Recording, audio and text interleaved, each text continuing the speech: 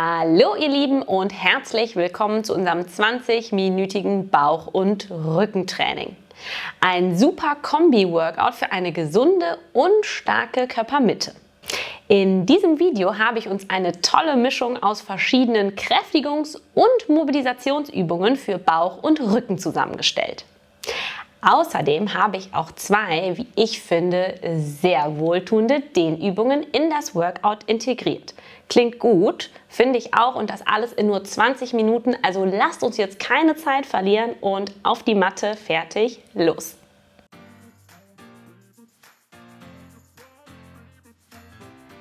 Noch eine kleine Info vorab. Es warten insgesamt vier Übungspäckchen auf dich. Wir starten mit dem Bauch, gefolgt vom Rücken, dann geht es wieder zu dem Bauch und dann am Ende ist nochmal der Rücken dran. Zwischen diesen Übungspäckchen gibt es immer eine einminütige Pause. So, das waren jetzt genug Infos. Ab auf die Matte. Wir starten genau jetzt. So, wir starten in Rückenlage. Roll dich ab auf deine Matte, richte dich hier kurz ein und es geht los mit Greifen wechselseitig. Du versuchst mit den Fingerspitzen deine Fersen zu berühren und ziehst dich regelrecht immer von rechts nach links. Und das Ganze aus der Kraft der Bauchmuskulatur. Der Atem fließt weiter, die Luft nicht anhalten. Wenn du die Luft anhältst, wirst du diese Minute wahrscheinlich nicht schaffen. Also versuch hier mal wirklich den Atem, auch wenn es schwer ist, entspannt fließen zu lassen und dran zu bleiben. Du hast schon mehr als die Hälfte geschafft. Im Wechsel rechts und links die Ferse berühren oder annähernd die Ferse berühren. Also hier wirklich in so eine kleine Seitenneigung gehen, dranbleiben, nur noch 10. Du schaffst das. Für mich war auch diese erste Übung schon echt anstrengend, aber sie ist vorbei in 3, 2, 1. Prima gemacht. Roll zurück in Rückenlage. Nimm die Füße hoch in einen 90 Grad Winkel im Kniegelenk und du pumpst mit den Armen neben dem Körper auf und ab.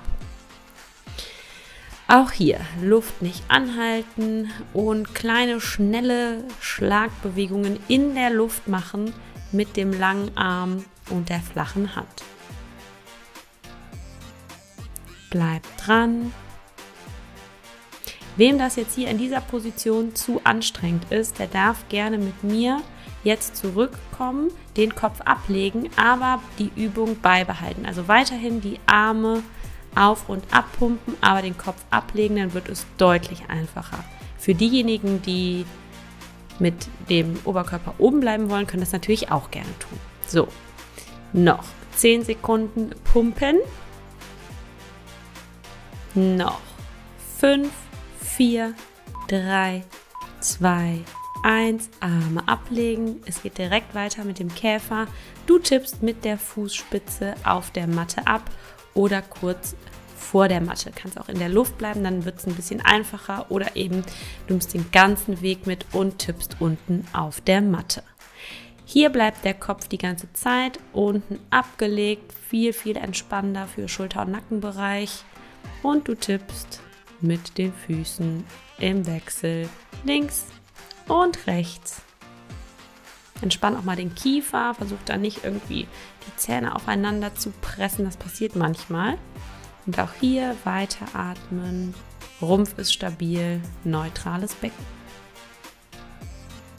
Die letzten 15 Sekunden brechen an. Danach wartet noch eine Bauchmuskelübung auf uns und danach gibt es die Pause. Also hier nochmal dranbleiben. Letzten drei, zwei und geschafft. Sehr gut. Roll hoch, komm in den Vierfüßlerstand und wir machen hoch, tief, also Knie von der Matte lösen und wieder sinken lassen. Das ist die letzte Übung für dieses Päckchen.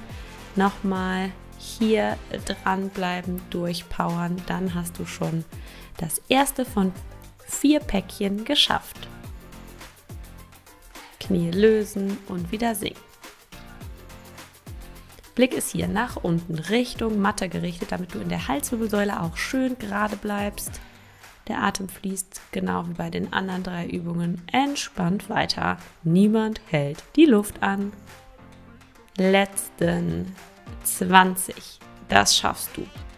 Anstrengend, der Bauch brennt. Es wird jetzt auch langsam anstrengend in den Armen, weil die stützen müssen. Noch 10. Noch 5, 4, 3, 2, 1. Die erste Pause in diesem Workout hast du dir sowas von verdient. 60 Sekunden, eine Minute lang verschnaufen.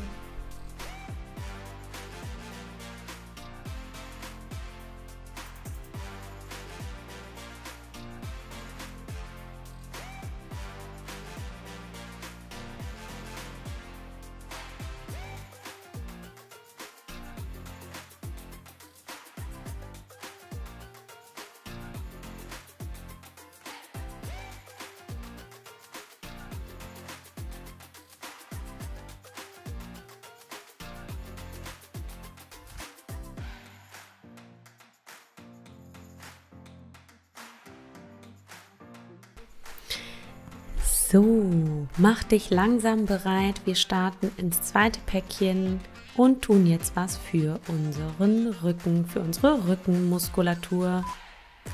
Und es geht weiter im Hochstütz. Komm in diese Position und stell dir vor, du hast vier Punkte auf deiner Matte und läufst die mit den Händen ab. Also vor, vor, rück, rück. Nochmal so Wem das zu anstrengend ist, kann mit mir jetzt auf die Knie kommen und macht genau das gleiche weiter. Vor, vor, rück, rück. Wer die Variante von davor wählen möchte, kann das natürlich auch gerne machen, ist aber deutlich anstrengender. Ich wollte euch hier zwei verschiedene Schwierigkeitsstufen anbieten. Auch hier die Punkte ablaufen mit den Händen und der Rumpf bleibt hier super stabil. Vor, vor, rück, rück. Blick nach unten Richtung Matte und der Atem fließt. Dranbleiben, vor, vor, rück, rück.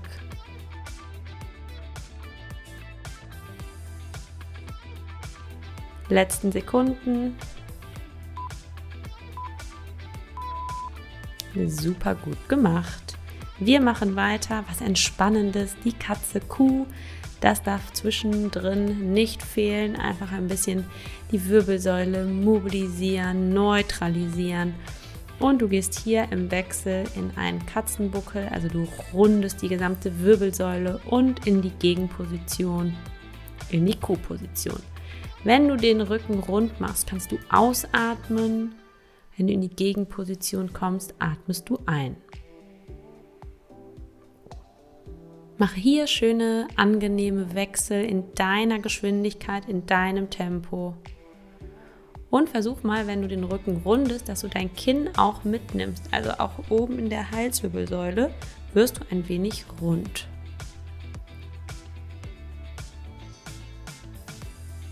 Letzten Sekunden laufen. Noch einmal rund werden. Das war Katze Kuh. Wir machen weiter in der Bauchlage, kommen nach unten, Swimming und zwar diagonal, rechter Arm, linkes Bein und rechtes Bein, linker Arm im Wechsel anheben. Wer öfters Videos von unserem Kanal macht, weiß, äh, was jetzt kommt. Das sage ich immer. Es geht hier eher um Länge und nicht um Höhe. Also natürlich sollst du Arm und Bein anheben, aber mehr sollst du noch denken, dass du hoch und dann aus der aus, auseinanderziehst, also wirklich in die Länge ziehst, also eine diagonale Linie, rechter Arm, linker Fuß und dann geht es nach oben und gleichzeitig aber auch in die Länge ziehen. Blick ist auch hier nach unten und der Atem fließt, wie bei jeder Übung. Super gut schon gemacht. Noch 10 Sekunden. Letzten 3, 2, 1. Und wir machen die letzte Übung von unserem Rückenpäckchen. Nochmal was Entspannendes. Es ist die Child's Pose. Du setzt dich also mit dem Gesäß zurück auf die Fersen, Die Arme sind lang nach vorne ausgestreckt. Das soll aber nicht heißen, dass die Schultern mit nach vorne gehen. Die sind trotzdem hinten und entspannt, aber du hast trotzdem lange Arme. Stirn ist auf der Matte abgelegt und du atmest hier wirklich mal in den Rücken, in den unteren Rücken hinein. Man kann das richtig spüren, wie sich da alles weitet mit der Einatmung. Wenn dir das angenehm ist, so mit den Armen ausgestreckt nach vorne, kannst du gern so bleiben. Sonst kannst du auch mal versuchen, die Arme nach hinten zu nehmen, neben den Körper. Das siehst du jetzt auch hier. Dann machst du dich ganz klein, ganz rund wie ein Stein. Letzten Sekunden.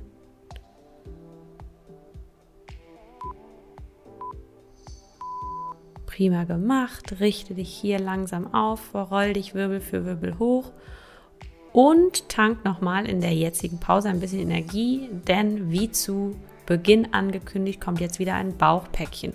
Das erste Päckchen Bauch war schon relativ intensiv und es wartet nochmal ein Päckchen Bauch auf uns. Deshalb hier nochmal durchatmen, trink vielleicht einen Schluck und dann machen wir gleich weiter.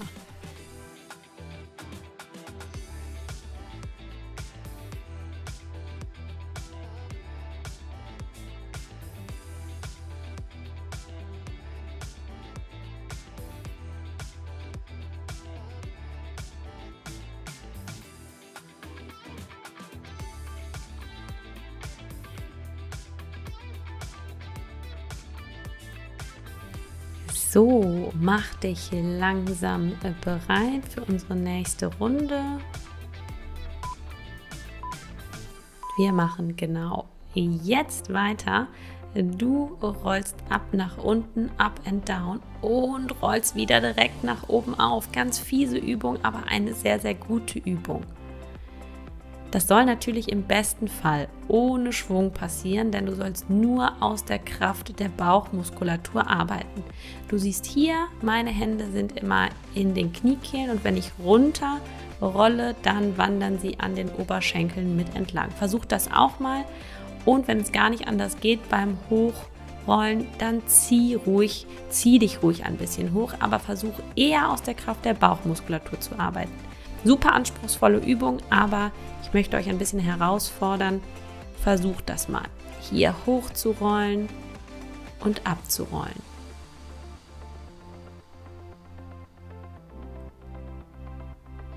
Sehr gut dranbleiben. Noch einmal hoch. Prima gemacht. Und du kannst abrollen in Rückenlage. Jetzt kannst du unten bleiben, Kopf ablegen, Hände ablegen, Fahrrad fahren in der Luft.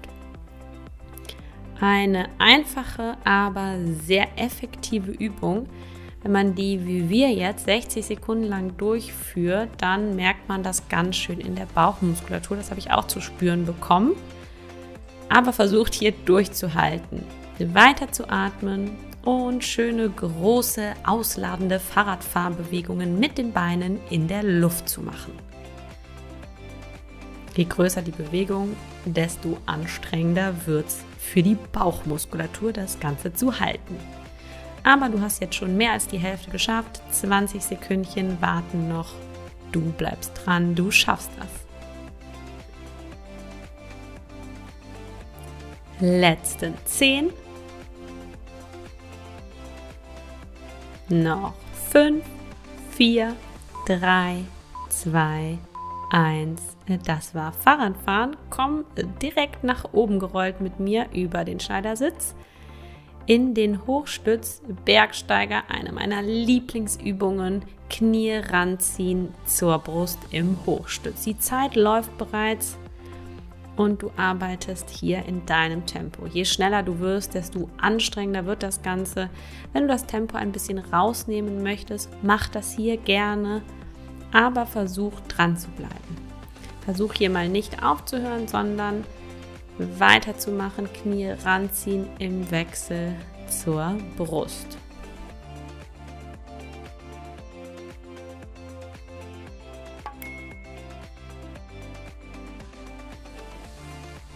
Blick ist nach unten gerichtet, Atem fließt.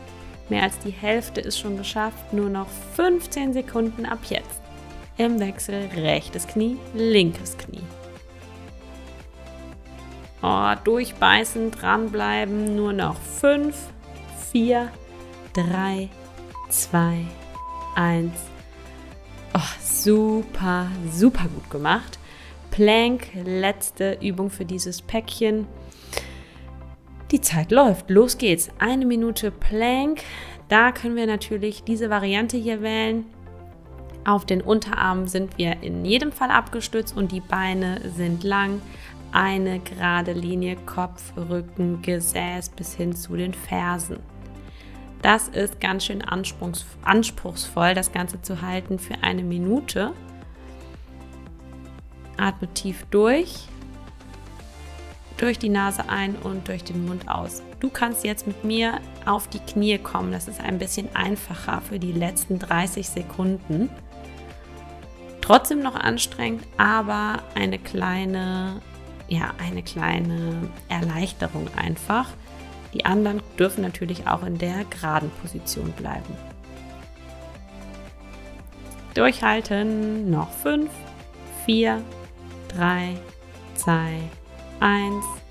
Sehr gut gemacht. Das war unser zweites Bauchpäckchen. Eine Pause hast du dir verdient und dann wartet nur noch ein letztes Rückenpäckchen auf dich und dann bist du auch schon durch mit dem 20 Minuten Rücken- und Bauchtraining. Richtig gut.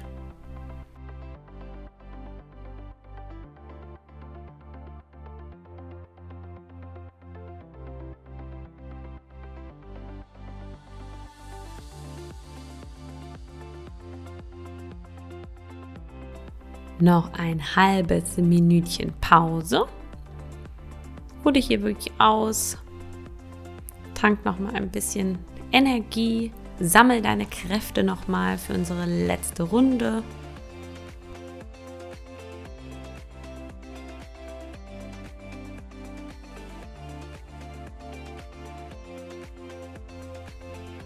So, mach dich bereit. Es geht gleich weiter und zwar im Seitstütz.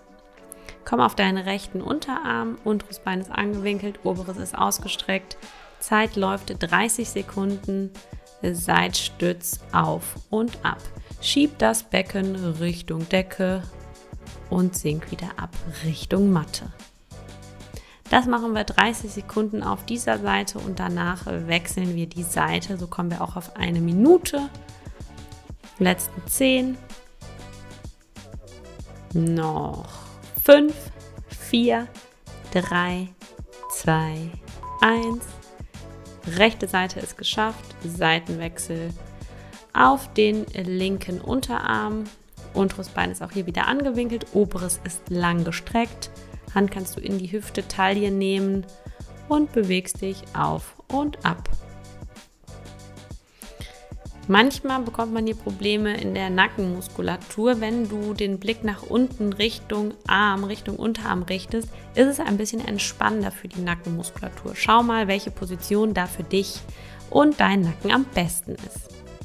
Noch 5, 4, 3, 2, 1. Das war der Seitstütz. Sehr gut. Du kommst mit mir in den Vierfüßlerstand. Wir machen den Halbmond. Knie eng zusammen und im Wechsel rechts und links die Füße rausschieben und Blick geht immer zu der Seite, wo die Füße sind. Wenn man jetzt von oben auf dich drauf gucken würde, würde ein ja, würde deine Wirbelsäule wie so einen, einen Halbmond formen. Das einfach nur zur Veranschaulichung. Das ist eine sehr schöne Übung für die Wirbelsäule.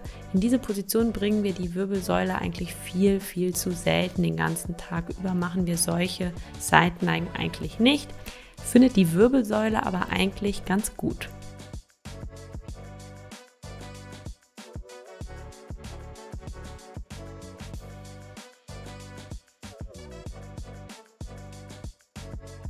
So, noch 10 Sekunden noch 5, 4, 3, 2, 1. Das war der Halbmond. Vom Halbmond gehen wir in den Vierfüßler diagonal und das Ganze machen wir im Wechsel. Rechter Arm, linkes Bein und rechtes Bein, linker Arm. Auch hier schön in die Länge ziehen. Gilt das gleiche wie beim Swimming. Eher Länge als Höhe. Und immer die Position einnehmen, kurz halten, Balance finden und dann wieder der Wechsel. Wenn ich an Rückenübungen denke, ist das so eine Übung, die dabei sein muss. Finde ich, das ist eine absolut tolle Übung. Die darf bei mir eigentlich nicht fehlen. Gerade dieses, dieses Diagonale, das ist einfach super. Letzten 10. Nur noch 5, 4, 3, 2, 1.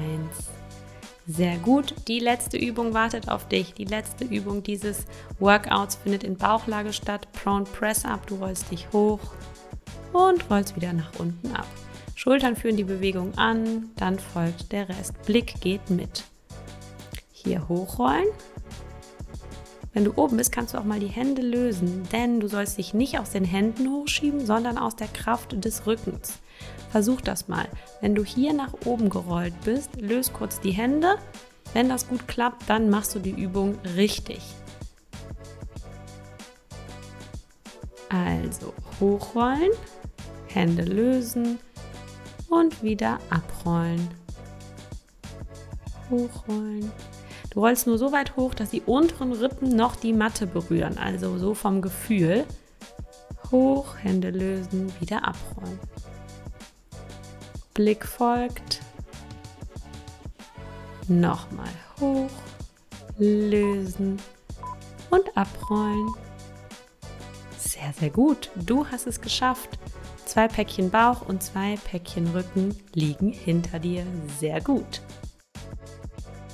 Wie haben die Übungen bei euch geklappt? Seid ihr gut mitgekommen? Ich freue mich über einen Austausch hier unten in den Kommentaren. Schreibt mir doch gerne mal, wie es funktioniert hat und ob ihr vielleicht eine Lieblingsübung habt. Äh, ein kleines bisschen mehr würde ich mich noch freuen, wenn ihr auch einmal diesen Kanal abonnieren würdet. Das geht ganz, ganz einfach. Ihr geht auf den Kanal, drückt auf Abonnieren und aktiviert im besten Fall auch noch die Glocke, denn dann verpasst ihr solche Videos überhaupt gar nicht mehr. So, ich freue mich schon auf das nächste Training mit dir und verabschiede mich für heute und sage Tschüss, bis zum nächsten Mal.